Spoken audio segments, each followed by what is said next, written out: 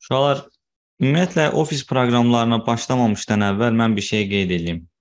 Bu proqramları siz yaxşı öyrənmək istəyirsinizsə, mütləq şəkildə praktika eləməlisiniz. Bunun başqa yolu yoxdur. Praktika. Məsəl üçün, indi Word proqramını biz buradan açaq. Tutaq ki, açdıq Word proqramını. Word proqramını gördüyünüz kimi burada tabları çoxdur, tablar daxilində əmrlər falan var. Bunların hamısının yadda qala bilməsi üçün siz gərək o kitabı oxuyarkən paralelində kompüterdə bunu açasınız, orada gördüyünüz bütün əmrləri, bütün əməliyyatları bir-bir icra edəsiniz.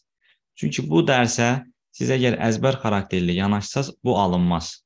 Amma e, əməliyyatları bir-bir kompüterdə icra etdikdə həm öyrənəcəksiniz, həm də yadınızda yaxşı qalacaq. Bax, bu məsləhəti öncədən mən sizə verim. Yaxşı, indi başlayaq. Uşaqlar, Bu Word e, proqramının yüklənməsinin bir sıra üsulları var. İlk öncə proqramın yüklənməsi, yəni proqramın açılmasından söhbət gedir. Biz bu proqramı necə aça bilərik? İş masası üzərində əgər Word proqramının piktoqramı varsa, üzərinə 2 dəfə vurub aça bilərsiniz. Bunu bilirsiniz. Ya da taskbara, tapşırıqlar panelinə Word proqramını bərkitmisinizsə, bir dəfə vuraraq, vuraraq aça bilərsiniz və ya gəlib burada search yerindən Word proqramının adını yazaraq da onu aktivləşdirə bilərik. E, həmçinin start menyuda bilirsiniz də proqramların e, siyahısı var ikinci hissədə. Burada aşağı doğru gələ bilərik və Word proqramını buradan tapıb e, yükləyə bilərik. Yəni bu Word proqramının açılma üsullarıdır.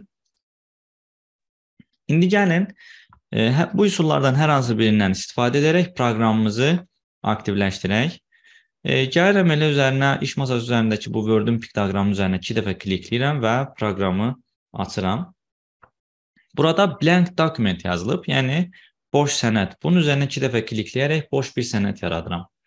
E, və elə bunun özündə bir sual kimi yadınızda saxlaya bilərsiniz. E, Word proqramında yeni bir sənəd yaratdıqda onun adı adətən document 1 olur və ya susmaya görə Word proqramını biz açırıq susmaya görə başlıq sətrində document 1 yazısını biz görəcəyik. İndi burada bəzi məlumatların olduğu bir e, fayl var. Mən onu aktivləşdirim. Dediyimiz kimi susmaya görə Word proqramında ilk dəfə sənəd yaradanda adı document 1 olur. Bunu qeyd etdik və proqramın genişlənməsi haqqında məlumat verək. Word proqramının genişlənməsi 2007-ci ilə qədər doc olub. Lakin 2007-ci ildən etibarən artıq 2007, 2013, 2016, 2019 versiyalarında docx genişlənməsini biz e, görmüşük. E, daha sonra e, ümumi nə haqqında məlumat verə bilərik? Ümumi biz pəncərənin idarə etmə düymələri haqqında, ümumi pəncərənin görünüşü haqqında məlumat verə bilərik. Başlayaq onları bir-bir göstərməyə. Bax, burada gördüyünüz hissə Bu düymələr bildiyiniz kimi pəncərəni idarə etmə düymələridir. Bu düymələr haqqında danışmayacağam, çünki kifayət qədər danışmışıq. Sadəcə təkrar xarakterli üzərindən keçək. Daha sonra bu hissənin adı başlıq sətridir bildiyiniz kimi və biraz əvvəl də qeyd etdik ki, ilk dəfə Word proqramını açıb bir sənəd yaradanda adı Document 1 olacaqdır. Daha sonra burada cəlb müraciət panelini biz görürük sürətli müraciət paneli, cəhd müraciət paneli tez-tez istifadə etdiyimiz əmrləri e, bu e, panelə yerləşdiririk. Cəhd müraciət paneli lentin sol yuxarı hissəsində, həmçinin sol aşağı hissəsində də mövcud ola bilər və burada show below the ribbon əmrini vurduqda e, quick access toolbar cəhd müraciət panelini lentin sol aşağı hissəsində görə bildik. Yalnız iki dənə yeri var bunun uşaqlar. Yəni e, lentin sol yuxarı hissəsi və sol aşağı hissəsi. Lentin e, mərkəzin yuxarısında mərkəzdə ola bilməz, sağda ola bilməz. Bax bunları unutmayın. E, daha sonra burada gördüyümüz zolaq bildiyiniz kimi biz buna lent deyirik. Bax bu zolaq bu lentdir. E, daha sonra burada home-dan tutmuş axıra qədər çəkim bu hissələr Bunlar lent başlıqlarıdır. Home, insert, design, layout, references falan bunlar lent başlıqlarıdır. Biz bunlar haqqında öyrənəcəyik. Daha sonra bildiyiniz kimi hər bir lent başlığı e, lent qruplarına bölünür. Bu aşağı hissədə qeyd etmişəm. Clipboard, font, paragraf, styles, editing falan bunlar lent qruplarıdır. Ayrılıqda belə də qeyd edə bilərik. E, məsəl üçün paragraf lent qrupu gördüyünüz kimi və ya font lent qrupu. Bunlar bir-birindən ara kəsmələrlə ayrılır və biz onların daxilindəki əmrləri əzbərdən bilməliyik. Növbəti nə var burada? Və e, lentin aşağı hissəsində, sağ aşağı hissəsində collapse ribbon adlı bir düymə var. Bu düymə lenti yığır uşaqlar. Klaviatura düyməsi də Ctrl F1-dir. Bu düyməni vuran kimi lentin yığıldığını biz müşahidə edirik. Lent üzərindəki əmrlər görünmür, lakin lent başlıqları burada görünür. Hər hansı birinin üzərinə vurduqda lent yenidən aktivləşəcəkdir. Və burada pin düyməsi var. Bunu vurduqda lentin aktivləşməsi həyata keçirilir. Gəlir bura bərk edilir, yəni tamamilə görünür olur. E, və klaviatura düyməsi də lentin gizlədilməsinin klaviatura düyməsi Ctrl F1-dir. Bir də bax bu hissədə belə bir düyməmiz var. Düyməmizin adı Ribbon Display Options'dır. Yəni lentin görünmə seçimləri. Lentin 3 dənə görünmə seçimi var. Auto Hide Ribbon. Bu əmr aktivləşdirildikdə lent gözdə, e, gördüyünüz kimi, müşahidə etdiyiniz, e, etdiyiniz kimi avtomatik gizlənir və mausu yuxarı hissəyə gətirdikdə e, burada gördüyünüz kimi bir zolaq ortaya çıxır. Mausun sol düyməsini bu zolağın üzərinə kliklədikdə lent görünür hala gəlir. Yenidən kənar hissəyə kliklədikdə lent itmiş olur. Burada digər bir seçimə baxsaq, Show Tabs adlı bir seçim var. Bu rejim aktiv olduqda lent yenə gizlədilmiş olur, lakin lent başlıqları görünür. Hər hansı bir lent başlığının üzərinə vurduqda lenti biz burada görə bilirik. Kənara vurduqda lent yenidən itir. Və buradakı sonuncu əmrimiz Show Tabs and Commands. Bu əmri icra etdikdə həm lent başlıqlarını görürük, həm də lent başlıqları üzərindəki bütün əmrlər görünür hala gəlir. Yaxşı, bunlar deyildi. E, daha sonra e, burada baxaq görək başqa nələri deməliyik biz. Bax, bu hissəyə baxın uşaqlar. Bax, bu hissədə biz üfüqi xəttkeşi görəcəyik. Üfüqi və şaquli xəttkeşlərini mən göstərmək istəyirəm. Üfüqi xəttkeş. Bir də bu hissədə bizdə şaquli xəttkeş yerləşir. E, xəttkeşləri əgər görə bilmirsinizsə necə aktivləşdirəcəksiniz? E, bizə bizdə view lent başlığı var. Yəni Word proqramında e, view lent başlığı var. Bura daxil oluruq və burada show lent qrupunda ruler adlı əmrimiz mövcuddur. Ruler əmri deaktiv olduqda xəttkeşlər görünməz. Aktivləşdirdikdə isə biz xəttkeşləri burada görəcəyik. Bunu da qeyd etdik. Bəs bu xəttkeşlərin işi, funksiyası nədən ibarətdir? Bunun barəsində mən sizə məlumat verim. E, xəttkeşlərin işi barəsində. Uşaqlar, xəttkeşlər e, bizim sənədimizin kənar boşluqlarını tənzimləyir. Yuxarı boşluq, aşağı boşluq, sol boşluq, sağ boşluq, həmçinin abzasın sol və sağ tərəfdən məsafələrini də tənzimləməyə qadirdir. Abzasın əsasən sol tərəfindən boşluq məsafəsini, orada birinci sətrinin e, çıxıntısını falan təyin etmək olur. Belə, zaman keçdikcə biz bunlar barəsində, bunlar barədə də danışacağıq. İndi e, başqa nələr var? İndi onlar haqqında da məlumatımızı verək. Və burada gördüyünüz kimi belə bir e, zolaq var. Bu zolağın adı Şaquli hərəkət zolağıdır. Şaquli hərəkət zolağı müxtəlif səhifələr arasında sürətli keçid etmək üçün istifadə olunur. Bir də miqyası biz böyütsək əgər, e, burada aşağı hissədə üfüqi hərəkət zolağında görə bilərik. Üfüqi hərəkət zolağı da sənədimizin sol tərəfini, sağ tərəfini falan daha aydın şəkildə müşahidə etmək üçün istifadə olunacaq. Yaxşı, bunları da qeyd etdik. Daha sonra bu yanıb keçən ox, bax kursordur bu. Yəqin ki, bir çoxunuz bilərsiniz. Kursor harada dayanırsa, həmin yerdən biz klaviatura simvolları daxil edirik. Məsəl üçün, taşı kursor artıq burada dayandı. Buradan klaviatura simvolları daxil ediləcəkdir. Sənədin mərkəz hissəsi, e, bu hissə işçi sahə adlanır. File Explorer proqramında da bundan bağlı danışmışdıq. E, daha sonra ən aşağı hissə bir çoxunuzun yəqin ki, yadında olar. Ən aşağı hissədə bizdə vəziyyət sətri adlanır. Əziz tələbələr, vəziyyət sətri. Gəlin görək vəziyyət sətri üzərində hansı düymələr yerləşir. Burada section adlı bir əmr var. Section bölmə mənasına gəlir, bölmə. Bildiyiniz kimi hər bir kitabda müəyyən bölmələr olur. İndi mən biraz kobud mənada deyim, başa düşə bilərsiniz deyə. Məsəl üçün e, alqoritmlər bölməsi, yəni fəsillər deyək də, alqoritmlər, proqram təminatı, nə bilim, Word, Excel. Burada da ona bənzər biz bölmələr yarada bilərik, sectionlar. Bölmələr nömrələnir olar.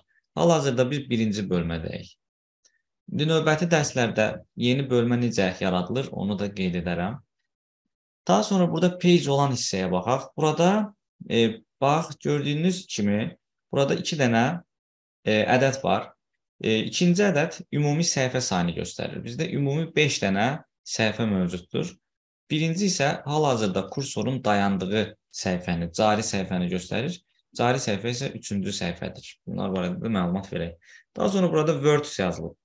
Burada Word sənədimizin içərisində nə qədər söz varsa onun sayını göstərir. 2423 dənə söz var. Əgər həmin e, düymənin üzərinə vursaq, belə bir dialoq pəncərəsi açılır. Word count adlı dialoq pəncərəsi. Bu dialoq pəncərəsi bizə statistik məlumatlar verir. Məsəl üçün səhifələrin sayı 5 dənədir. Pages gördüyünüz kimi. Burada words var. Sözlərin sayını yenə görə bilirik. Characters, yəni simvollar, no spaces, boşluqsuz simvolların sayı burada qeyd olunub. 10939. Bir də var characters with spaces, boşluqlarla bir yerdə simvolların sayı. Bu isə 13334-ə bərabərdir. Paragraphs qeyd olunub, abzaslar. 55 dənə abzas var. Lines sətirlərdir. 147 dənə də sətir var gördüyünüz kimi. İndi mən sizə e, bir neçə məsləhət vermək istəyirəm. Yola dərsimizin əvvəlində biz dedik ki, əgər Word proqramını yaxşı mənimsəmək istəyirsinizsə, mütləq şəkildə e, gərək praktika edəsiniz. Praktika etmək üçün də sizin mətn fraqmentlərinə ehtiyacınız olacaq. Mətn fraqmentlərini hardansa copy-paste etməyə ehtiyac yoxdur. Sizə sürətli bir kod göstərim. Bax, bərabərdir rand yazırsınız, mötərizəni açıb bağlayırsınız. Randın içərisinə e, hər hansı bir ədəd yazırıq. Məsəl üçün 5. Bu ədəd nəyi bildirir? E, əgər biz indi burada mötərizə xaricində enteri vursaq, 5 dənə abzasdan ibarət bir mətn formalaşacaq. Deməli, rand əmri bizə mətn formalaşdırır. Mötərizənin içərisində isə mətnin neçə abzasdan ibarət olmasını təyin edirik. Enteri vuran kimi fikir verin, 5 abzasdan ibarət bir mətn fraqmenti ortaya çıxdı və bunun üzərində siz praktik edə bilərsiniz. Bir də e, belə bir əmrimiz var. Bərabərdir lorem. E, bu isə e, latınca bir mətn fraqmenti verir bizə. Lorem ipsum. Bundan da istifadə edə bilərsiniz. İndi mən buradan gəlim və 3 abzaslıq bir mətn fraqmenti formalaşdırmaq istəyirəm. Gəlirəm bura 3 yazdım və mötərizə kənarında enter düyməsini vururam. 3 abzasdan ibarət bir mətn fraqmenti. İndi gəlin baxaq. Aşağı hissədə 135 dənə sözün olduğu qeyd olunur və həmin düyməni kliklədikdə word count-un dialoq pəncərəsini biz burada müşahidə edərik. Deməli, ümumi səhifə sayı 1-dir. Söz sayı 139, e, boşluqsuz simvolların sayı 649, boşluqlarla bir yerdə simvolların sayı 781-dir. Abzasların sayı 3. Bax, fikir verirsiniz, 3 dənə burada abzas mövcuddur lines sətirlərsə 9 dənədir. Fikir verin, hər abzas 3 sətirdən ibarətdir və ümumilikdə 9 dənə sətir mövcuddur. Burada e, daha yaxşı müşahidə edə bilərik deyə kiçik bir mətn fraqmenti formalaşdırdım. İndi bir şey qeyd edək. E, son 3 ildə hardasa 2 dəfə mən səhv etmirəmsə rastlamışam. E, belə bir sual var idi. Abzas yaradan düymə hansıdır? Bir abzası 2 yerə bölən düymə hansıdır? Bunun cavabı enterdir uşaqlar. İndi gəlin enter düyməsi barədə də məlumatımızı verək, çünki qəbula bu düşmüşdür. Bax, fikir verin, bu abzasın mərkəzində dayanmışam. Enter düyməsini vuran kimi, e, bax, burada artıq 4 dənə abzas formalaşdı. Gəlin görək, həqiqətən belədirmi? Yəni, enter bayaqki abzasımızı iki yerə böldü. E, gəlirəm aşağı hissədə, Words-ün üzərinə vururam statistika pəncərəsi açılır. Görürsünüz burada paragrafs artıq 4 göstərir. 4 dənə paragraf. Deməli yadınızda saxlayın. Klaviaturadakı enter düyməsi abzas yaradır və ya mövcud abzası 2 hissəyə bölə bilir. Bir dəfə enter vursaq 2 hissəyə bölə bilir. Bunu da biz qeyd etdik. Növbəti e, baxaq görək burada hansı əmrimiz var. Burada belə bir balaca əmr var. Gördüyünüz mausun üzərində saxladığım əmr. Bu əmr orfoqrafik və qrammatik səhvlərin yoxlanması düyməsidir uşaqlar. Orfoqrafik və qrammatik səhvlər e, ingilis dilində daha yaxşı, yəni bu orfoqraf və qrammatik səhvlərin tapılması ingilis dilində daha yaxşı işləyir. Azərbaycan dilində proqram yalnız e, orfoqrafik səhvləri tapa bilir. Bir neçə dəfə yoxlamışam. E, yəni bağlayarsınız orada. Aha. Deməli, bir daha qeyd edim. İndi orfoqraf və qrammatik səhvlərin e, yoxlanılması ilə bağlı mən parametrləri göstərəcəm. Azərbaycan dili üçün də işləyir, ingilis dili üçün də işləyir. Lakin Azərbaycan dilində yalnız orfoqrafik səhvləri tapır, qrammatik səhvləri e, tapmaqda çətinlik çəkir. Hələ görməmişəm. Gəlin indi yoxlayaq. O səbəbdən ingilis dilində indi bir m, kiçik bir ifadə yazaq. İçərisində səhvlər olsun. Yazıram she are a nurse. Belə bir mətn yazdıq. İndi fikir verin. Bax burada e, mətnimizi seçdim və proofing düyməsini vuran kimi avtomatik bax çıxartdı burada. Səhvlər indi tapılır. Və nurse-ün üzərində dayananda burada spelling, yəni orfoqrafik səhvin olduğunu qeyd edir. Spelling və onun düzgün forması olaraq nurse-ü qeyd edir burada. E, tip bacısı deyil, belə yazıla bilər. Hətta fikir verin, e, onun sinonimlərini də e, qeyd edir. E, əgər ar bunun üzərində dayansam, bu zaman da grammar yazılır. Yəni burada qrammatik səhv var və onun düzgün forması olan izi bizə təklif edir. Gördüyünüz kimi çox faydalı bir əmrdir. Həm orfoqrafik səhvi, həm də qrammatik səhvi burada qeyd edir. İndi bir məqam var. Mən biraz daha bunu yaxınlaşdırım. Fikir verin, adamlar bunu bizdən soruşa bilirlər. Soruşa bilərlər ki, orfoqrafik səhvlər necə xətlərdir? Gördüyünüz kimi orfoqrafik səhvlər qırmızı dalğalı xətlərdir, uşaqlar, qırmızı dalğalı xətt. Amma qrammatik səhvlər e, göy dalğa, e, göy e, düz xəttdir. 2 dənə qoşa göy düz xətt. O belə. Cümlə üzvlərindən xəbərin xəttidir sanki, amma onun göy versiyası. Bunları da dedik.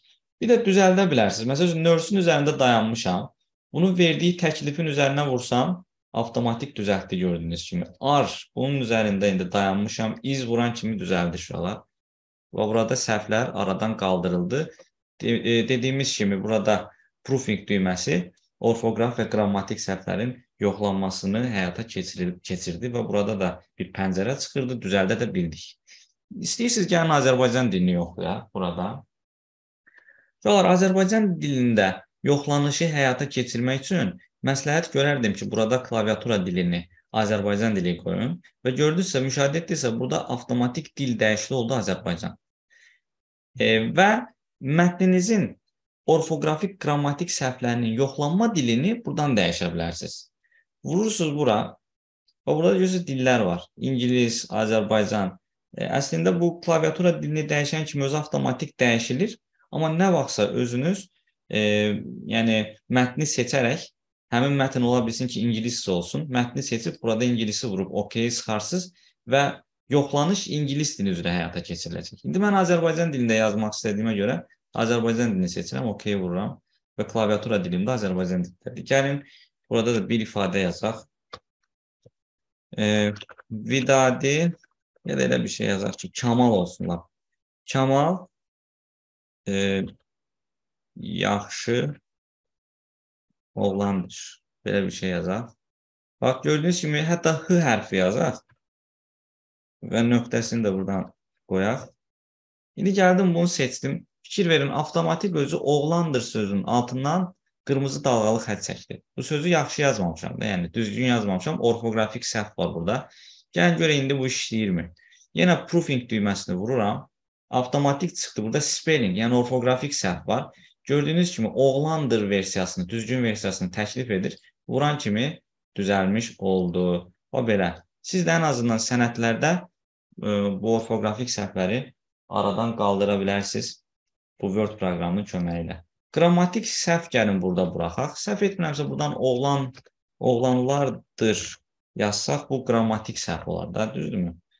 İndi işarələyirəm bu hissəni spelling proofing, proofing e, düyməsini vururam buradan, proofing.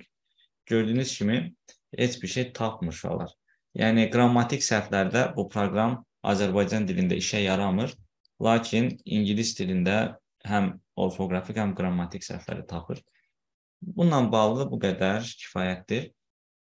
Başqa nə var? Insert düyməsini buradan gəl göstərək, insert haqqında məlumat verək. Insert e, əmri nə işə yarayır? Bunu əvvəlki dərslərimizdə əslində demişdim, fəsil 2-də. Tutaq ki, mən Bakı sözünü yazmışam. Kursoru Bakı sözünün əvvəlinə keçirdirəm və əgər mən Gəncə yazsam, Gəncə sözü əvvəldə də qalır, bunu bilirsiniz. Bəs insert düyməsini vuraq, nə baş verər gəlin görək. Insert düyməsini vuranda simvolların əvəz olunması rejimi olan overtype rejimi aktivləşir. İndi mən Bakı sözünün əvvəlinə keçib hər hansı bir simvolu vursam, e, B hərfini əvəzləyəcək. Bax, indi G hərfini vururam, Gəncənin G-sini vuran kimi B-ni əvəzlədi. Ə-ni yazsam A-nı əvəzləyər. N-ni yazsam Ç-ni.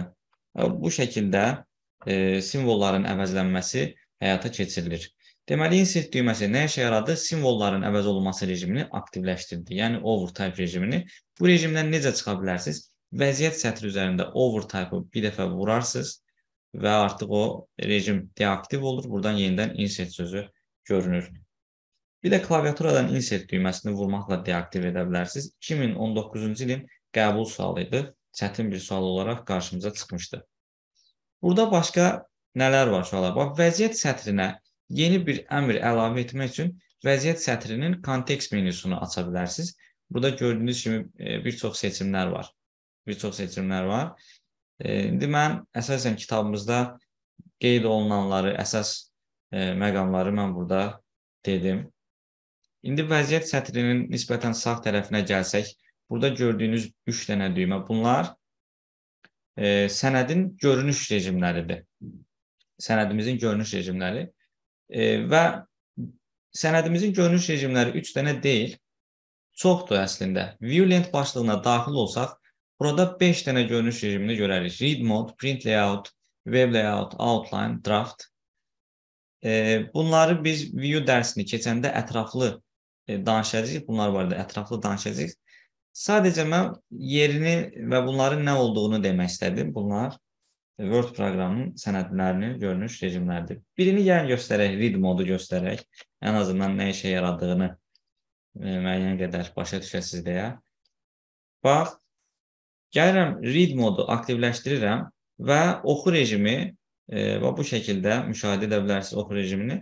Gördüyünüz kimi sənəd sanki kitaba bənzərmiş, e, bənzər şəkildə ortaya çıxır və e, burada kənar düymələri var. Bu düymələr vasitəsilə biz e, səhifədən səhifəyə keçid eləyə bilirik. O oxu rejimi bu cürdür. Bunu qeyd etdik. Bu rejimdən çıxmaq üçün klaviaturadan escape düyməsini vuracaqsınız Bir də bir şey qeyd edim. Susmaya görə, yəni standart vəziyyətdə e, sənəd print layout görünüş rejimində olur. Print layout. Çap görünüş rejimində olur. Daha sonra burada nələr var? E, miqyas düymələri mövcuddur burada. Miqyas və miqyas sürüngəci. Bu miqyas sürüngəci zoom sliderda gedir. Miqyasın e, minimumu 10%dir. E, miqyas ən aşağı 10% ola bilər, maksimum isə 500% ola bilər. Bunu da buradan qeyd edək. Və e, miqyas çapa təsir etmir əziz tələbələr. Bax, 500% qoymuşam, gördüyünüz kimi. Mən buradan fayl tabına daxil olub printi vursam, gördüyünüz kimi miqyasın e, çapa heç bir təsiri olmayacaq. Ümumiyyətlə, print sənədimizin sənədimizə çapdan öncə ilk baxış etmək üçündür, ön baxış etmək üçündür. Birdən sizdən soruşular, sənədə çapdan əvvəl ön baxış etmək hardan həyata keçirilir? Deyərsiniz ki, faylın içərisindən, deməli buradan printdən. Gördüyünüz kimi e, miqyasın çapa təsiri olmayacaq və minimum miqyas Word proqramında 10, bir daha göstərək. Buradan sürüngəci tutun. Hə, minimum miqyas 10, maksimum miqyas isə 500% olacaqdır. Bunlar da qeyd olundu. Başqa hansı məqamlar qaldı? Hə, biraz da bu lent tabları haqqında məlumat verim sizə. Bunlar lent başlıqları iki yerə bölünür. Bir var main tabs, əsas tablar. Bir də var tool tabs, yəni alət tabları. Bir də fikir verdinizsə, burada orfoqrafik qrammatik səhvlərin yoxlanma dili Azərbaycan dili olduğuna görə altından İngilis dilində yazdığım sözlərin altından qırmızı dalğalı xətt çəkilir. Yəqin ki, bu halı bir çoxunuz müşahidə etmisiniz. Artıq bu cür arzu olunmaz hallar necə aradan qaldırılır, onu da biləcəksiniz. Sadəcə mətni seçin. E, ilk öncə ya gəlin buradan e, klaviatura dilini ingilis dilinə qoyun. Daha sonra da mətni seçib buradan ingilis dili olaraq da seçə bilərsiniz. OK. E, gördüyünüz kimi artıq bu altdan qırmızı dalğalı xətləri e, çəkildiyini görməyəcəksiniz. Bax belə. Əslində bu dilin dəyişdirilməsi ilə də vacib deyil. Əsas mətnin seçilib buradan yoxlama dilinin ingilisə çevrilməsi kifayət olur adətən. Problem həll olunur. İndi davam edək. E, mən nə haqqında danışacaqdım? Əsas və alət tablar. Əsas tablar hansılardır? Və burada gördüyünüz e, home-dur, insert, design, layout, references, mailings, review, view, help və bunlar əsas lent başlıqları hesab olunurlar. Bu arada e, file lent başlığı deyil. File sadəcə tabdır. E, nəyə görə file sadəcə tabdır, lent tabı deyil? Onu da izah edək. Fikir verin. Home-dur, insert-dur, design, layout falan bunları açdıqda lentin görünüşü dəyişir. Və bunların hər biri lentə məxsus əmrləri öz üzərində saxlayırlar. Lakin faylı vursaq, lentlə heç bir əlaqəsi olmayan bir görünüş aktivləşir. Bu görünüşə də backstage view, arxa səhnə görünüşü e, adını verir inşallah. Bunu da dedik. E, bu arada əsas tablar buradakılarla kifayətlənmir. Əsas tabların ümumi siyahısına, həmçinin əlavə tablarında ümumi siyahısına hardan baxa bilərsiniz göstərim. Fayla daxil oluruq. Burada options'a daxil oluruq. Burada Customize Ribbon adlı əmr var. E, burada Customize Ribbon, onsuz da bilirsiniz də Customize fərdiləşdir. Ribbon da lent deməkdir. Lentin fərdiləşdirilməsi. Bu hissədə siz həm main tabs, əsas tabları, həmçinin tool tabs, alət tablarını müşahidə edə bilərsiniz.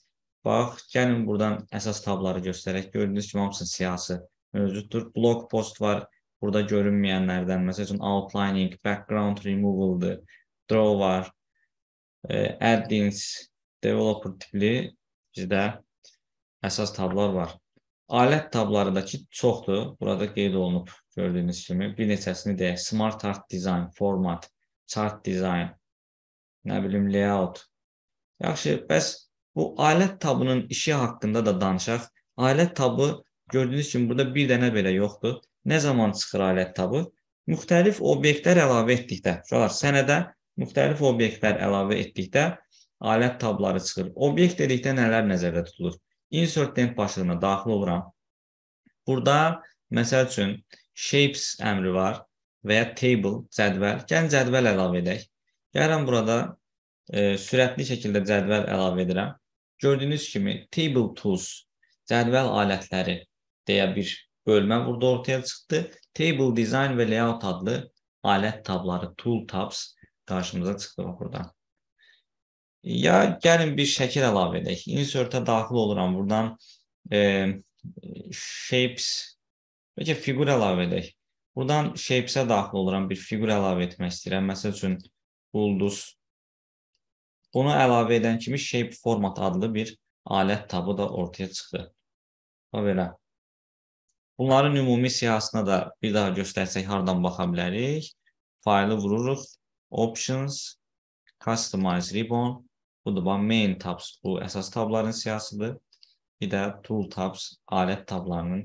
Mənim bir də developer aktivləşdirə bilərsiniz, görək nədir. E, bir dənə bitirək hamısını aslan. Ondan sonra baxarıq yaxşı dərsin sonunda.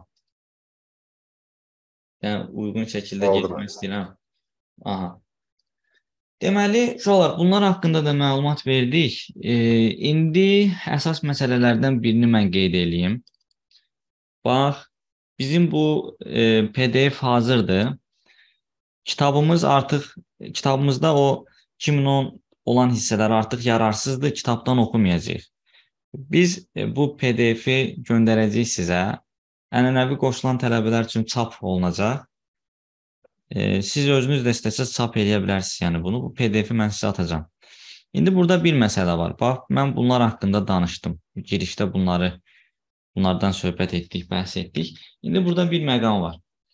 Mətnin daxil edilməsi və redaksiyası, mətn sahəsində hərəkət falan, bir sözlə klaviatura düymələri. Onlar klaviatura düymələrini dərsdə demək çox səmərəsizdir. Çünki mənim hansı düyməni vurduğumu sən oradan müşahidə edə bilməzsən. Gərək ekran klaviaturası açılsın falan, o çox e, keyfiyyətsiz şəkildə baş verir. O səbəbdən siz mütləq şəkildə klaviatura düymələrini özünüz bir-bir icra edib evdə yoxlamalısınız. Çox deyil, burada hər bir düymə qeyd olunub.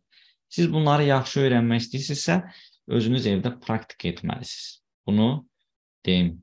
Yəni bunlarla dərsdə vaxt itirməyəcəyik. İndi keçirik digər bir məsələyə. Yəni fayl əməliyyatlarına Backstage View haqqında indi məlumatlarımızı verəcəyik. İndi gəldim. Bu sənədi bağlayaq. Əvvəlki açıq qalsın. İndi buradan faylı vururam uşaqlar. Faylı vuran kimi belə bir görüntü qarşımıza çıxır. Bu görüntünün adı Backstage View, yəni arxa səhnə görünüşüdür. Burada da müxtəlif əmrlər mövcuddur gördüyünüz kimi. Home, new, open, info, save, save as. E, aktivlərdən history aktiv deyil, tarixçə print var. Daha sonra share, export, close, account, feedback, options, yəni bunlardan danışaq. Bax, birinci əmr gördüyünüz kimi home-dur. Burada yuxarı hissədə bizi xoş bir şəkildə salamlayır. Axşamınız xeyir falan.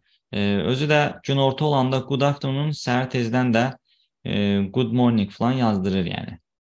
E, bu hissədə home-un daxilində new var. Buradan yeni boş bir sənəd yarada bilərik və ya sağ tərəfdən e, bəzi şablonlar görürük.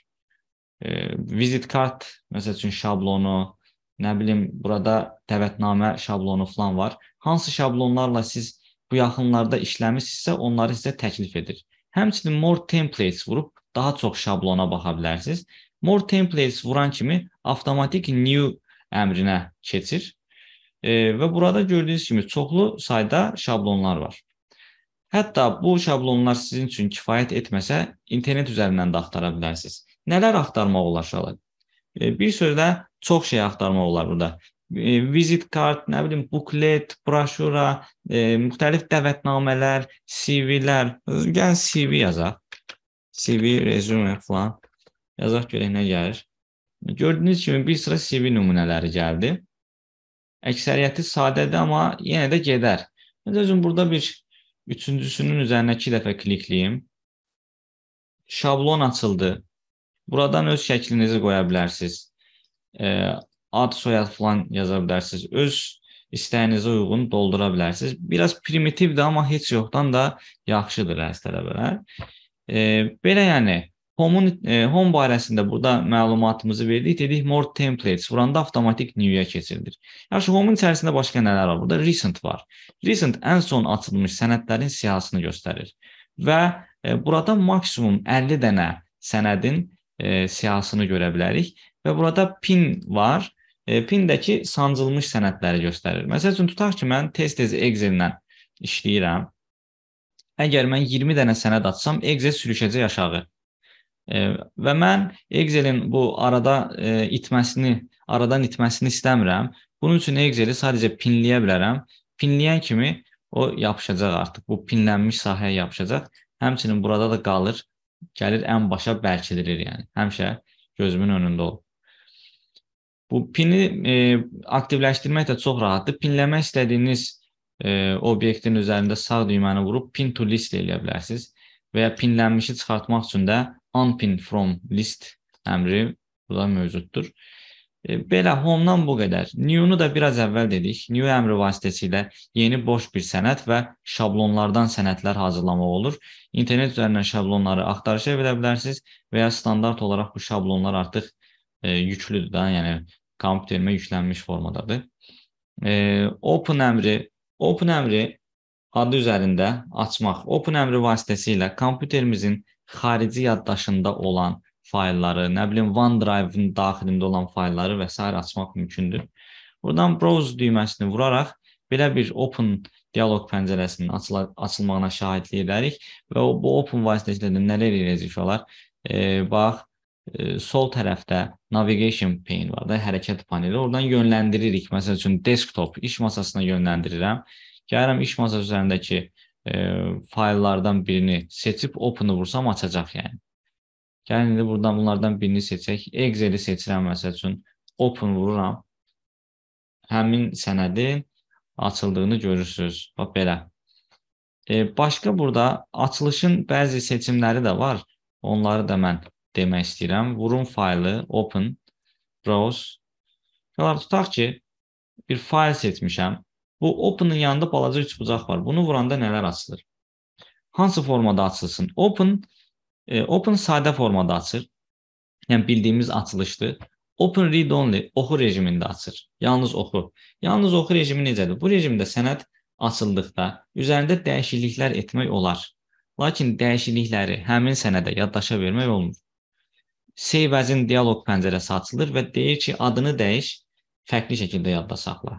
Yəni əsli korlana bilmir də, yəni. Open as copy-də birbaşa sənədimizin nüsxəsini yaradır. Əslinə toxunmadan nüsxəsi üzərində dəyişikliklər aparıb yaddaşa verə bilirik. Yəni Open as-də də əsli korlanmır. Open in browser sənədi veb səhifələrə baxış proqramı olan brauzerdə açır. OpenWiz Transform sənədi Word-ün əvvəlki versiyalarından birinə çevirməklə açır. Open-in Protected View var məsəl üçün e, tamamilə qorunma rejimində açır. Bu rejimdə açılan sənəd üzərində heç bir dəyişiklik aparmaq olmur. E, read only-də dəyişiklik aparmaq olurdu. Sadəcə dəyişikliyi həmin sənədə yaddaşa vermək olmurdu. Lakin Protected View-da ümumiyyətlə dəyişiklik aparmaq olmaz. Open and Repair əmri isə korlanmış sənədi e, açır və bərpa etməyə cəhd göstərir. Bəzən sənədlərdə problemlər baş verir. E, sənəd e, belə deyim, daxilindəki o fayllar, daxilindəki bəzi bölmələr zədələnir. Onları e, redaktə etmək, e, yəni bərpa etmək falan Open and Repair ilə mümkün olur. Yaxşı, bunu da belə deyim. Bir də Excel proqramı, Excel nə idi? Word proqramı e, deməli PDF-i də aça bilir. Bax burdan e, PDF-i görə bilərik. Bir dənə baxım görüm hansı hissədədir. Hə, PDF gördüyünüz kimi PDF fayllarını da aça bilir. Əvvəlki versiyalarda biraz sıxıntı var idi, amma yeni versiyalar PDF-ləri də açır. Belə, e, info sənəd haqqında informasiya əldə etmək üçündür. Gördüyünüz kimi burada infoya daxil olan kimi sənədimizin yaddaşda tutduğu yeri göstərir. 16,8 kilobayt. Daha sonra pages səhifə sayını göstərir. Nə qədər söz var onu göstərir. Total editing time, nə qədər vaxtdır sənəd redaktə olunur, 128 dəqiqədir falan göstərir. Burada protect document vasitəsilə infodan, yəni protect document vasitəsilə sənədi müdafiə edə bilərik, mühafizə edə bilərik. Encrypted password, sənədin açılışına parol qoya bilərik. Sonra burada restrict editing var. Sənədin redaktəsinə, formatlaşdırılmasına falan parol qoymaq olar. E, ümumiyyətlə restrict editing redaktəyə parol qoyur. Sənəd açılır, oxuna bilir, amma redaktə etmək mümkün olmur. Nəyisə silmək, yeni bir şey əlavə etmək, yeni bir ifadə əlavə etmək mümkün olmur. Inspect document əmri sənədimizdə olan problemləri axtarır. Burada check for issues var. Problemlər nə ola bilər? Məsəl üçün şəxsi məlumatlarınız falan varsa, adres, bilgiləri və s. proqram onu tapır və e, sənə təklif edir ki, onu siləsən. Yəni e, şəxsi məlumatlar e, problemli olur axı bəzən. Həmçinin burada check accessibility əmri var. Bu əmr nə üçündür? Görmə məhdudiyyəti olan şəxslər, e, yəni yaxşı görə bilməyən şəxslər üçündür bu. E, proqram axtarır ki, görüm nəsə elə bir şəkil varmı, elə bir ifadə varmı ki, bunu görməkdə çətinlik çəkənlər ayırd edə bilməz. Onu tapır və bizə e, məlumat verir ki, bax onu düzəlt. Bəzi şəxslər onu e, çətinliklə oxuyacaqlar. Sonra check compatibility var. Bu əmr nə üçündür? E, bax burada özü də qeyd edib. E, sənədin içərisində indi ofisin versiyaları var da. 2019, nə bilim 2007, 2016 sənədin içərisindəki yeni funksiyaları axtarır. Hansı funksiya ki, köhnə versiyalarda olmaya bilər və həmin funksiyaları biz bağlaya bilərik və nəticədə bu faylımız bütün e, ofisin bütün versiyalarında aça bilər. Yəni, bəzən elə olur ki, yeni versiyada olan e, bir sənəd göndərirsən tutaq ki, elmi rəhbərinə deyir, məndə bəzi şeylər açmır. Bax bu check compatibility ilə siz bunu aradan qaldıra bilərsiniz o problemləri. Başqa nə var? Manage document əmri var burada. Bu əmrimiz nə işə yarayır? E, bax bu çox e, lazımlı bir əmrdir. Bir çoxunuz üçün məncə gərəklidir. E, bəzən sənəd yadımızdan çıxır, yaddaşa vermirik. Enerji, elektrik enerjisi qəfil kəsilir, yaddaşa verə bilmirik. Bax burada e, avtomatik yaddaşa verilmiş sənədlər saxlanılır. E, recover unsaved documents, yəni e, yaddaşa ver, verə bilmədiyimiz sənədlərin bərpa olunması. Bura daxil oluram. Və burada bir sıra sənədlər var. Bu sənədləri mən yaddaşa verməmiş çıxmışam, lakin proqram onu bərpa üçün özü avtomatik şəkildə yaddaşa verib.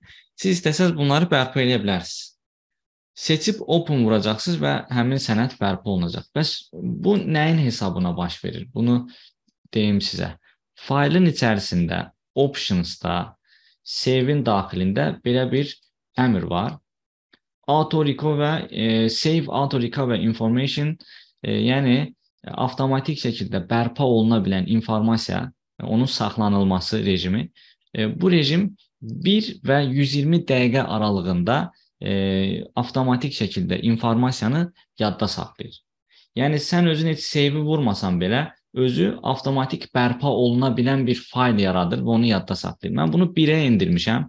Qoy özü bir dəqiqədən bir avtomatik yaddaşa versin.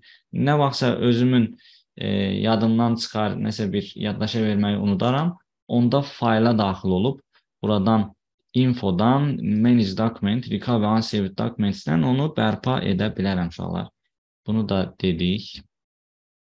Sonra sonra uşaqlar gəlir save. Save sənədi öz adı ilə öz tipi ilə olduğu yerdə yaddaşda yaddaşa saxlayır, yaddaşa verir. Yəni sənəd üzərində dəyişikliklər aparırsan, tutaq ki, bu abzası seçdin, qalınlaşdırdın, nə bilim, rəngini dəyişdin. Sənədin adı document 1-dir. Sənədin adını, yerini falan heç nəyi dəyişmədən ən son dəyişikliyi sadəcə yadda saxlayacaq. Belə redaktörünü falan yaddaşda saxlayacaq formatlaşmanı. Amma save as fərqli formada yadda saxlamaq üçündür. Save as-i vururam. Məsəl üçün buradan browse düyməsini vururam. Save as-in dialoq pəncərəsi açılır. Burada bir çox əməliyyatlar icra oluna bilər, amma e, əm, e, icra oluna biləcək 4 əsas əməliyyatı mən qeyd edeyim. Birincisi sənədimizin yerini dəyişə bilərik. Məsəl üçün desktop vuraram, sənədi iş masası üzərində yaddaşa verə bilərəm. Documents vurub documents qolluğuna yaddaşa verə bilərəm. E, və s. yəni E, sonra burada file name var. File name vasitəsilə də sənədimizin adını dəyişə bilərik. İstədiyimiz ad qoya bilərik. Burada e, save as type var. Sənədimizin tipini dəyişə bilərik. Məsəl üçün sənədi buradan PDF şəklində yadda saxlamaq olur. Vururam PDF-i, PDF şəklində yadda saxlanılır. Gördüyünüz kimi Word 2010 2019 e, proqramı, Word 2019 proqramı sənədləri PDF sənədlərini həm aça bilir, həm də sənədi PDF şəklində yadda saxlaya bilir. İkisi də mümkündür uşaqlar. Və burada tools əmri var. Toolsa daxil ol daxil oluram. General optionsa daxil oluram. Burada password to open adlı əmr var. E, və e, bu əmr vasitəsilə sənədin açılışına da biz e, parol qoya bilirik, yəni. Həmçinin elə burada qeyd olunub. E, sənədin E, modifikasiya olunmasına, yəni dəyişdirilməsinə də parol qoymaq olur. E, bunlar da mümkündür. Və gördüyünüz kimi sənədin açılışına e, parolu iki yerdən artıq biz qoya bildik. Bir save as-in içərisində tools-dan, general options-dan qoya bildik olar. Bir də infonun içərisindən protect document-dən encrypt with password əmri ilə də biz sənədi müdafiə edə bilərik, parolla mühafizə edə bilərik. As-i bir daha təkrar etsək, 4 əsas əməliyyat burada e, mümkün olur. E, sənədin yerini dəyişmək, sənədin adını dəyişmək, e, daha sonra e, burada save as type vasitəsilə sənədin tipini dəyişmək, bir də toolsun daxilində general optionsdan sənədin açılışına və dəyişdirilməsinə parol qoymaq mümkündür. Və belə. Yaxşı, bu da deyildi. Bu arada Open-ın klaviatura düyməsi Ctrl O. E, yeni bir sənət, boş bir sənət yaratmağın klaviatura düyməsi Ctrl N-dir, N hərfi. Save-in düyməsi Ctrl S, Save as-in düyməsi F12-dir. E, print barədə birazdan ətraflı məlumat verəcəm sizə. Print, çap məsələlərini falan göstərəcəyik. E, və printdə biz nə qeyd etmişdik? Print əmri vasitəsilə e, çapdan öncə sənədə ilk baxış edə, ön baxış edə bilirik, ön baxış. Bunu da dedik. E, sonra burada e, share əmri var. Share əmri vasitəsilə də adı üstündə sənədimizi paylaşacağıq. Yəni müxtəlif şəxslərlə, e-maillə paylaşacağıq. E, əgər bir bloqun varsa, məqalə yazırsansa öz bloquna paylaşa bilərsən. Cloud-a, bulut texnologiyasına paylaşa bilərsən və s. Çox uzatmayım. Export var. Exportda adı üstündə ixrac edir. Sənədi necə xaric edir uşaqlar? tipini dəyişərək. Məsəl üçün buradan da siz PDF, XPS formatlı fayl yarada bilirsiniz və ya faylın tipini dəyişə bilirsiniz burada. docx kimi, odt kimi, txt kimi falan yaddaşa vermək olur. Buradan save as a file type bunu vuranda e, hətta save as-in pəncərəsinin açılmağını da biz görə bilirik. Deməli save as-in pəncərəsini siz iki yerdən aça bilirsiniz hətta. Bir save as-in özündən, browse-dan Bir də eksport vasitəsilə də save as pəncərəsi açılır. Yəni hər iki əmr vasitəsilə sənədi fərqli formada e, yaddaşa verə bilirik. E, sonra burada close əmri var. E, close əmri də e, cari sənədi bağlamaq üçündür. Bax, close-u vururam. Bax, fikir ver, sənəd bağlandı. Word proqramı bağlanmır. Close əmri Word proqramını bağlamır, əziz tələbələr. Yaxşı, davam edək buradakı əmrləri deyək. Account var. Account əmri nə işə yarayır? E, Office barədə buradan biz məlumat əldə edə bilirik. E, Office-in versiyasını göstərir. Aktiv və ya deaktiv olması ilə bağlı məlumat qeyd olunur. E, sonra e, Office-ə yeniləmələr gəlirsə onları aktiv, deaktiv edə bilirsiniz. Word haqqında məlumat verir. Sol tərəfdə maraqlı bir seçim var. Office-in temasını, yəni bax bu Word-ün belə belə deyim temasını dəyişə bilirsiniz. E, temaların burada e, rəng sxemləri var. 4 dənədir. Colorful, rəngli, dark grey, tünd e, grey nə idi? Boz, tünd boz, black qara, white-dakı ağ. Burada use system setting var. E, elə bu sistemin özünün təyin etdiyi rəng sxemini müəyyənləşdirir. Bunun özünü saymasaq, e, 4 dənə olacaq. Yəni colorful, dark grey, black, white. Gəlin yoxlayaq. Elə susmaya görə, yəni standart vəziyyətdə colorful idi. E, baxaq görək. Gördüyünüz kimi rəng rəngli rejim belədir, yəni. Rəngli rejim belədir. Yenidən account-a daxil olaq. Dark grey var, məsəl üçün tünd boz. Tünd boz rəngdə bu şəkildədir. E, sonra account-a yenidən daxil olaq. Black qara rəng o belədir. bir daha daxil olduq. White var məsəl üçün. Ağ rəng bu şəkildədir. Account-a bir də daxil olduq. Elə use system setting vursaq gördüyünüz kimi colorful-a gətirir də elə bir ki. Rəngli rejimə gətirir. Başqa da buradan da nə lazımdırsa dedik, qeyd etdik. Bir də Office-in özünə də daxil ola bilərsiniz. Microsoft hesabı ilə Office-ə də daxil ola bilərsiniz. Offisə daxil olduqda artıq e, yeniliklər, e, yeniliklərdən daha tez xəbərdar olursunuz, xəbərdar olursunuz. Həmçinin e, OneDrive ilə də falan əlaqə yaradılır. Sənədinizi Drive-a da göndərə bilirsiniz orada. OneDrive e, deyilən bir proqram var. E, Microsoft şirkətinin e, cloud-udur, bulut texnologiyasıdır. Feedback e, var. Burada feedback geri dönüşüm e, nədir ki bu? Sənəd e, ümumiyyətlə Word proqramı haqqında öz fikirlərinizi bildirirsiniz nələri bəyəndiniz, hansı funksiyaları bəyənmədiniz və ya təklif iradlarınız falan varsa oradan bildirə bilərsiniz. Options əmri haqqında da məlumat verək. Options da şu olar. E, Word proqramının parametrlərini tənzimləmək üçün istifadə olunur. Burada Word-ün çoxlu parametrləri var. E, bir çox e, kateqoriya altında birləşdirilib.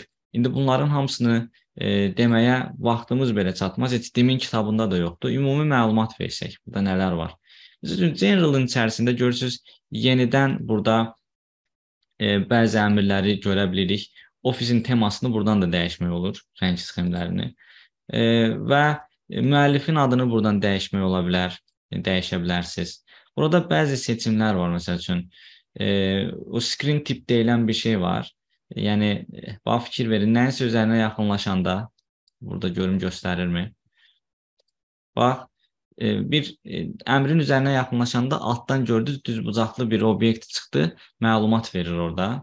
əmrin nə işə yaradığını. Ona screen tip deyirik. E, optionsda e, generalda o screen tipləri falan e, yəni söndürə bilərsiniz, göstərilməsini falan təyin edə bilərsiniz. Bu, bu tip seçimlər var. Displeydə nələr var məsəl üçün? E, hansı rejimlərin çapda görünüb görünməməsi? Və məsəl üçün spaces, boşluqların e, çapda görünməsini təyin edə bilərsiniz. Nöqtələr şəklində görünəcək. Tab işarəsinin görünməsini təyin etmək olar. Nə bilim, abzas işarələrinin görünməsini təyin etmək olar. Normalda bunlar görünmür də, yəni çapda görünməyən işarələri buradan göstərə bilərsiniz. Proofing orfoqrafik qrammatik səhvlərin yoxlanması seçimləridir. E, istəsəz ümumiyyətlə söndürə bilərsiniz bax bu hissədən bu rejimləri.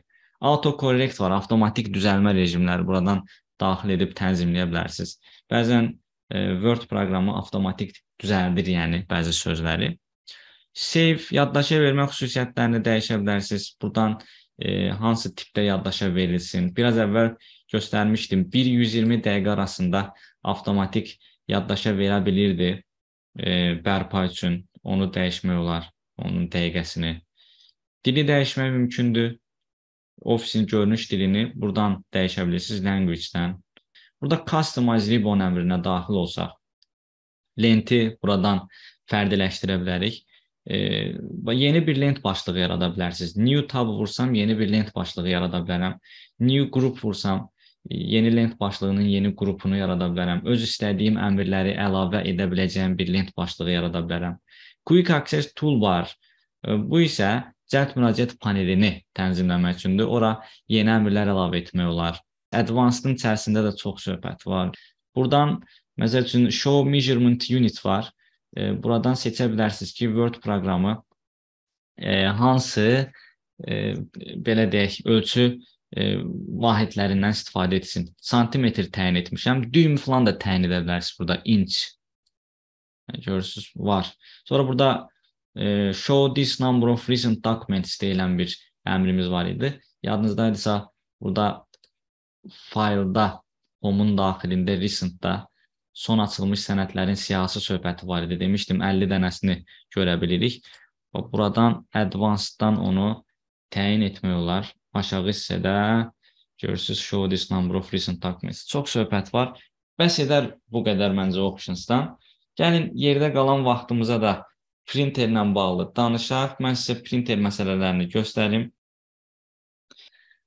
Aha, e, bax bu printlə bağlı məlumatımızı verək. Görək burada nələr var. Fikir verin, copy olan hissə, ilk öncə bu Word proqramını buradan aktivləşdirim. Word-ə daxil olduq, fayla daxil olduq. Burada print əmrinə daxil olduq. Bu hissə haqqında elə bir danışacağam sizə. Burada nələrin olduğunu indi deyəcəyik. E, ilk öncə copy. Copy nüsxə sayı. Nüsxə sayını bildirir. Tutaq ki, e, sizin sənəd 30 səhifədən ibarətdir və copy-də 3 yazılıb. Yəni 30 səhifəlik materialdan siz 3 nüsxə çıxaracaqsınız. Bu da avtomatik vərəq sayının 90 olması deməkdir. Bu cür suallar olur, yəni 30 səhifəlik materialdan 3 nüsxə çıxartsaq, neçə vərəq çapdan çıxar? 90 dənə. İndi keçirik bu hissəyə, printer. Printer isə e, çap etmək üçün istifadə edəcəyimiz printeri təyin etmək üçündür. Buradan e, e, burada gördüyünüz üç bucağın üzərinə vuraraq printerlərin siyahısını görə bilərik. Məsəl üçün buradan göstərim sizə. Vururam printeri. Gördüyünüz kimi burada bir çox printerlər çıxdı. Məndə virtual printerlərdir də bunlar. Yəni e, real olaraq printer mövcud deyil. Amma bu çap müəssisələrində falan printerlərin ümumi siyahısının çıxdığını görəcəksiniz. E, daha sonra E, baxaq başqa nə var? Aşağı hissədə print all pages. Uşaqlar bax, əsasən siz bunun aşağı hissəsinə fikir verərsiniz. Aşağıdakı sözə. Baxın görün aşağıda nə yazılıb. Görürsüz burada yazılıb print entire document. Yəni bütün sənədi çap et. Bütün sənədi çap et. E, siz buradakı üç bucağı vursanız və ya bu düymənin üzərinə vursanız, e, belə bir seçimlə qarşılaşacaqsınız. Gəlin bunları bir-bir nəzərdən keçirək. Print all pages. Bütün səhifələr çap olunur bu rejimdə. Print selection seçilmiş hissə çap olmuş. Nə olan şeydir bu seçilmiş hissə? Bax, e, fikir vermiş olar. Tutaq ki, belə bir sənədimiz mövcuddur. Mən gəlirəm, e, bu hissəni seçirəm. fayla daxil oluram, printi vururam və buradan print all pages-in üzərinə vurum, bax bu üçbucağın üzərinə vurub print selection vursam, yalnız və yalnız bayaq seçdiyim hissə çapdan çıxacaq. Düzdür, burada göstərmir, amma çap etsəz onun çapdan çıxdığını görərsiniz. Sonra burada belə bir əmr var. Print current page. Current page cari səhifəni çap edir. Tutaq ki, 30 səhifəlik bir materialdır. 30 səhifəlik materialdır. Siz 3-cü səhifəni e, üzərində dayanmısınız. Sizin üçün cari səhifə 3-cü səhifə olacaq. 3-cü səhifə. Və yalnız 3-cü səhifə çıxacaq çapdan. İndi buradan başqa nə var? Print custom range adlı bir əmrimiz var. Bu nə işə yarayır? Bu iş e, bu isə aralıq və seçilmiş səhifələrin çapı üçün istifadə olunur. Nə deməkdir bu aralıq? Və bu zonaya, bu ağ zonaya fikir verin. Və burada biz müəyyən e, rəqəmlər qeyd etmişik. Fikir verin 2,4 e, bu vergül nə deməkdir? Vergül dənə-dənə deməkdir. Yəni dənə-dənə səhifələr, ikinci səhifə, ayrılıqda dördüncü səhifə mənasına gəlir. 2 4. 2 4 2 dənə səhifə olur da uşaqlar. Buradan 2 dənə səhifənin çap olunduğunu müşahidə edərik. 2 ilə 4.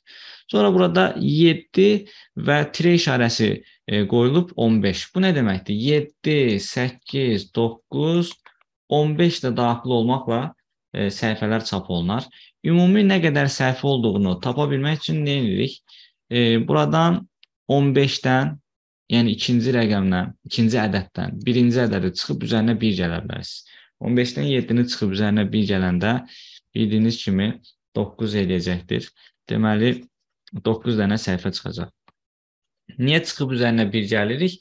Çünki həm başladığımızı, həm də sonuncu e, səhifənin çapını burada həyata keçirəcəyik. Onun üçün 7 7 də çap olunur, 15 də çap olunur bunlar. Sonra 23-dən 28-ə necə olur? 28-dən 23-ü çıxıb üzərinə 1 gələcəksən. E, bu da ki, bildiyiniz kimi eləyəcək 6. 6 da buradan. Ümumilikdə neçə səhifə çapdan çıxar? 17 səhifə çapdan çıxacaqdır. Bu belə. E, yaxşı. Tutaq ki, burada 17 səhifə çapdan çıxdı. Burada da 3 yazılıb. Yəni nüsxə sayı 3. O zaman neçə vərəq çapdan çıxarış olar? 3 nüsxə, 7 dənə səhifə, 50, 51, bəli, 51. Yavaş-yavaş bunları deyək də, birazdan məsələləri də göstərəcəm. Sonra bu hissəyə fikir verin. Əgər only print odd pages yazılıbsa, odd pages, onlar tək səhifələr çapdan çıxır. Əgər yadından çıxırsa bu sözün tərcüməsi, odd sözündə 3 dənə hərf var 3 də bildiyiniz kimi tək ədəddir. O səbəbdən belə yadında saxlaya bilərsən. Gördün sözün tərcüməsi yadından çıxır. Tapa bilmirsən. Say denən müəllim hə demişdi ki, onu saymaq lazımdır. Even Even isə cüt səhifələrdir. Even-ı da saysan 4 dənə burada hərf var. 4 də cüt bir e, ədəd olduğuna görə cüt səhifələri bildirəcək. Yadınızda belə saxlaya bilərsiniz. Sonra burada print one sided seçimi var print one site, both site bunun haqqında da məlumat verim sizə. Tək üzlü və iki üzlü çap. Uşaqlar, baxın, e, vərəqin e, bir üzünə çap etsək, yəni one site rejimini seçsək, one site, vərəqin bir üzündə nəsə bir yazı olur, arxa üzü ağ olur yəni. Amma bir də var both side. Both side rejimini seçəndə isə e, bu vərəqin hər iki tərəfinə çap olunur. Yəni vərəqin önündə də artıq məlumat olacaq, arxasında da. E, aydın məsələdir ki, boş sayt səhifə sayını azaldır, yəni. Tutaq ki, 6 səhifəlik materialdır. Boş saytla onu vursaq, 6 bölünsün 2, 3 dənə vərəqə çap olunacaq. Yəni boş sayt olanda 2-yə bölürsüz. İndidən bunu deyim. Sonra Collated deyilən bir əmrimiz var. Collated dəstələnmiş, dəstələnməmiş çap rejimini aktivləşdirmək üçündür. Nədir bu dəstələnmiş, dəstələnməmiş? Bunu da izah edək. Baxın uşaqlar, tutaq ki, 3 səhifəlik materialdır. Nüsxə sayı da 4-dür. Əgər siz collated e, əmri ilə e, bu çapı həyata keçirsəz, nə baş verəcək? Ardıcıl olaraq bütün səhifələr çapdan çıxacaq. Yəni 1, 2, 3. 3 səhifəlik materialdır. Çapdan çıxdı, düzdürmü? Sonra proses bir də baş verir. 4 dənə nüsxə çıxartmalısan axı. Sonra bir də 1 2 3, sonra bir də 1 2 3, bir də 1 2 3. Sən bunu 4 nüsxə bu şəkildə çapdan çıxaracaqsan. 4 nüsxə çapdan çıxaracaqsan belə. Ondan sonra e, burada e, gəlin uncollated rejimini də deyək. Uncollated dəstələnməmiş rejimdir. Dəstələnməmiş çap rejimi. Bu rejimdə hər səhifədən nüsxə sayı qədər çıxır. Məsəl üçün, birinci səhifədən 4 dənə, birinci səhifədən 4 dənə, ikinci səhifədən 4 dənə, üçüncü səhifədən 4 dənə. Bu fərqi alt üst özüm qəsdən qoymuşam ki, fərqi yaxşı hiss edəsiniz, yaxşı tutasınız. Bax belə. Collated və uncollatedin fərqi belədir. Uşaqlar ikisini də saysaq görərik ki, vərəq sayı eynidir. Collateddə də 12 dənə vərəq çapdan çıxır, uncollateddə də. Bəs fərq nədən ibarətdir? Səhifələrin çap olunma ardıcıllığı fərqli olur uşaqlar. Məsəl üçün, collated-də fikir verin. Collated-də indi sizə belə bir sual verim. Əgər desəm ki, çapdan çıxan 6-cı vərəqin üzərində hansı səhifə nömrəsi olacaq? Gəlin ya da özümüz həll edək. Çapdan çıxan birinci vərəqin üzərində 1, ikincinin üzərində 2, üçüncünün üzərində 3 yazılır. Dördüncü vərəqin üzərində 1, beşinci vərəqin üzərində 2, altıncı vərəqin üzərində isə 3 yazılacaq uşaqlar. O belə. Amma eyni sualı uncollated üçün versək, çapdan çıxan 6-cı vərəqin üzərində hansı nömrə yazılar? Gəlin görək nə olur. İlk 4 vərəqin hər birinin üzərində 1 yazılır. 5-ci vərəqin üzərində 2, 6-cı vərəqin üzərində də yenə 2 yazılacaqdır. Gördüyünüz kimi bu tip suallar verilə bilər. E, ehtiyatlı olmaq lazımdır. O belə. Sonra nə var? Çapa təsir edəcək. Axırıncı məqamı da buradan deyək. Bax, collateddən birbaşa keçdik ən aşağı.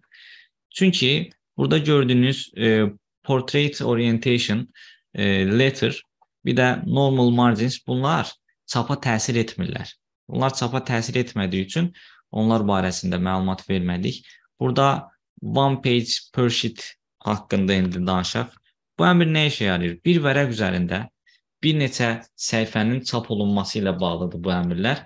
E, buradan da elə birbaşa yadınızda saxlayın ki, Word proqramında bir vərəq üzərində 1, 2, 4, 6, 8, 16 sayda səhifə çap etmək mümkündür. Ancaq burada qeyd olunmuş saylarda yəni. Bir vərəq üzərində bir səhifə çap olunduqda vəziyyət belədir yəni. E, iki vərəq çap olunarkən, daha doğrusu bir vərəq üzərində iki səhifə çap olunarkən, vərəq köndələn əyilir Bu formada üzərinə 2 dənə səhifə əlavə olunur. Bir vərəq üzərində 4 səhifə rejimi, 6 səhifə rejimi, 8 səhifə rejimi, 16 səhifə rejimi, şparqalka rejimləridir də bunlar, belə deyim. Yəqin ki, şparqalka hazırlayanlar bunu daha yaxşı bilərlər. İndi gəlin birbaşa məsələlərə keçək. Uşaqlar, Word proqramında məsələlər iki cür olur. Bir tip məsələlərdə bizdən vərəq sayı soruşulur. Digər tip məsələlərdə vərəq üzərində hansı səhifənin, hansı e, səhifə nömrəsinin əks olunacağı soruşulur. İlk öncə vərəq sayı soruşulan məsələləri həll edək. Bu məsələlər necə həll olunur?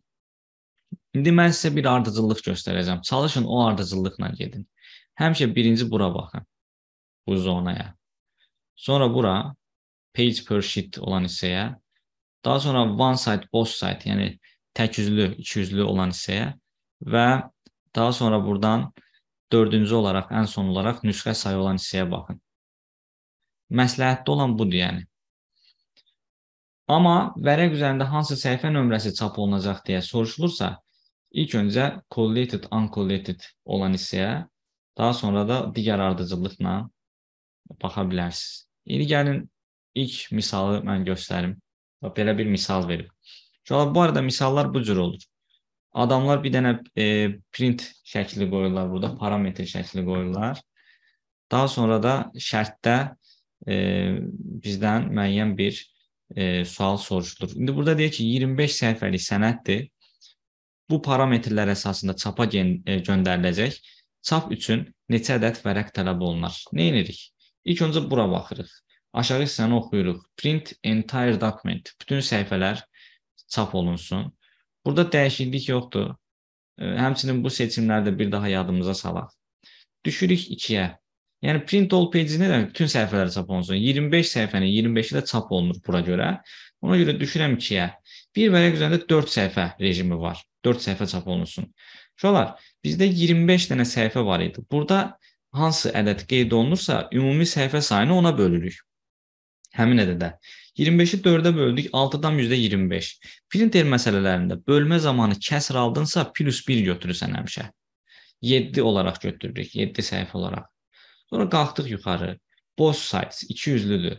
Əlimizdəki o 7 səhifəni də 2-yə bölürük 200-lü olduğuna görə. 3,5 eləyir. Onu da 4 götürəcəksən. Və qalxırıq ən yuxarı. Burada gördüyünüz kimi 5 nüsxə çap olunmalıdır. Əlimizdə 4 dənə vərəq var. 4 dənə vərəqdən 5 nüsxə çıxardanda 20 vərəq çapdan çıxacaqdır. 20 vərəq. Birini də mən göstərim, ondan sonra sizdən soruşaram. Birini də mən göstərim. Uşaqlar deyir ki, 37 səhifəlik bir sənəddir. Neçə ədəd vərəq çap olunacaq soruşur. Fikir verin, bu hissədə aşağı baxsaq odd pages yazılıb. Odd page, yəni e, tək səhifələr çapdan çıxmalıdır. Belə olanda siz araşdırmalısınız burada. 36 səhifəli, sənədimiz 36 səhifədən ibarət olsaydı, 18-i cüt, 18-i tək olardı. Amma 37 səhifədən ibarətdir deyə təklərin sayı elə bir bir vahid artır. 18 dənə cüt, 19 dənə tək olur. İndi nə edirik? Deməli biz 19 səhifə ilə işləyəcəyik. 19 səhifə ilə işləməliyik. E, gəlirik aşağı düşürük. Əlimizdə 19 dənə səhifə var. Bir vərəq üzərində 6 səhifə rejimi ilə bunu çap edirik. 19-u 6-ya bölürük. 3.2, 4 götürsən. Both site 200-lü çapdır. Əlimizdə 4 səhifə var idi. 2-yə bölürük. 2 dənə vərəqə çap olunur. Daha sonra da o 2 dənə vərəqi 3 nüsxə çap edirik. 6 vərəq çapdan çıxır. Belə. İndi gəlin mən sizə sual verim. Buyurun, vaxt da verirəm, özünüz həll etməyə çalışın. Uşaqlar, ilk öncə bu hissəyə baxdıq. Bu hissədə fikir verin. E, birdən 4-ə 4 səhifə çap olunur. Sonra 7 və 10 2 səhifə deməkdir bu. Sonra 18-dən 23-ə 23-dən 18 çıxışda bircə 6 səhifə deməkdir. Yəni ümumilikdə 12 səhifə çapdan çıxacaq birinci zonada. Gəl ikinci zonaya. Əlimizdə olan o 12 səhifəni bir vərəqdə 8 səhifə rejimi ilə çap edirik uşaqlar və 1.5 eləyirsən bunu 2 götürürsən. 2 səhifə. Qalxırsan one side. Uşaqlar one side onsuz da bir üzlüdür. Səndə də 2 dənə səhifə var idi. Bu 2 dənə vərəqə çıxır və ən sonda da əlindəki o 2 vərəqdən 2 nüsxə çap edirsən və nəticədə 4 vərəq çapdan çıxır. Aha. İndi bu misalı həll edin. Əjdaha kimi bir misaldır. E, yazana halal olsun. Bundan sonrakı lap fantastikadır. Onu yazan artıq fitri istehza. İlk öncə bura baxırıq uşaqlar. Gördüyünüz kimi burada even pages yazılıb. Cüt səhifələr çapdan çıxmalıdır. Və mən nə edirəm? Bu aralıqları açmalıyam. Bəzi tələbələrimiz ola bilsin ki, buradakı səhifələri toplayıblar. Bu tamamilə səhv olar. Səndən cüt səhifələr istəyirsə, sən bunların daxilinə baxmalısan. Deməli, 3-7 aralığını buradan açıq qoymuşam. Sonra 10, 14-dən 20-yə. Gəlin görək bunların içərisində cütlər hansılardır.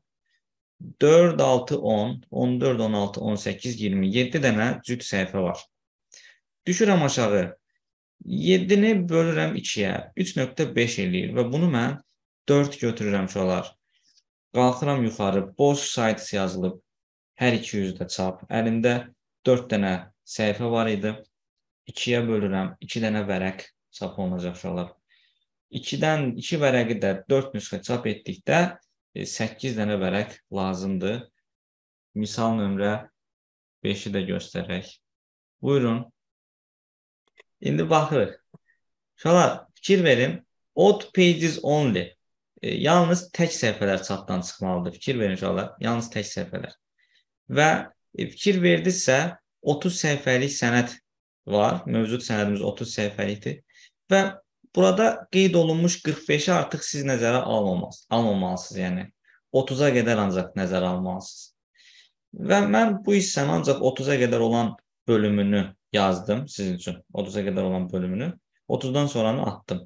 Və bunların içərisində yalnız tək səhifələri seçməlisiniz. Tək səhifələr. Hansılar bunlar? 3, 5, 7, 15, 19, 21, 23, 25, 29. 9 dənə səhifə çap olunacaq uşaqlar. Gəlir aşağıda 9-u bölürük 4-ə. 2 tam %25 eləyir. Bunu 3 götürürük. One side deyir. Əlimizdə 3 dənə səhifə var. 3 vərəqə çıxacaq və ən sonda da 3-ü vuracaqsınız 5-ə. 5 nüsxə 15 dənə vərəq edəcəkdir. Buradan 6-cı sualın da izahını verək. Deyir ki, 12 səhifəlik sənəd qeyd olunmuş parametrlər əsasında çapa göndərilmişdir. Sənədin çap edilməsi üçün neçə ədəd vərəq tələb olunar? Bax, bu sual tipində e, ilk öncə bura baxırıq. Current page yazılıb. Current page cari səhifədir. Və cari səhifə bircə dənə səhifədir. Bu tip misallarda e, yəni e, sırf bir dənə səhifə çap olunacaq deyə aşağıdakı heç bir seçimin e, mənası olmayacaq. Əlimizdə bir səhifə varsa, biz onu 200-lü çap edə bilmərik. Bir vərəqdə məsəl üçün 4 səhifə rejimi ilə falan çap edə bilmərik. Bu tip misallarda current page gördünüzsə, o bir səhifədən nüsxə sayı qədər çıxacaq. Yəni 8 dənə. Cavab eləyəcək 8 vərəq. Belə. Bu tip misalları da bilmək lazımdır.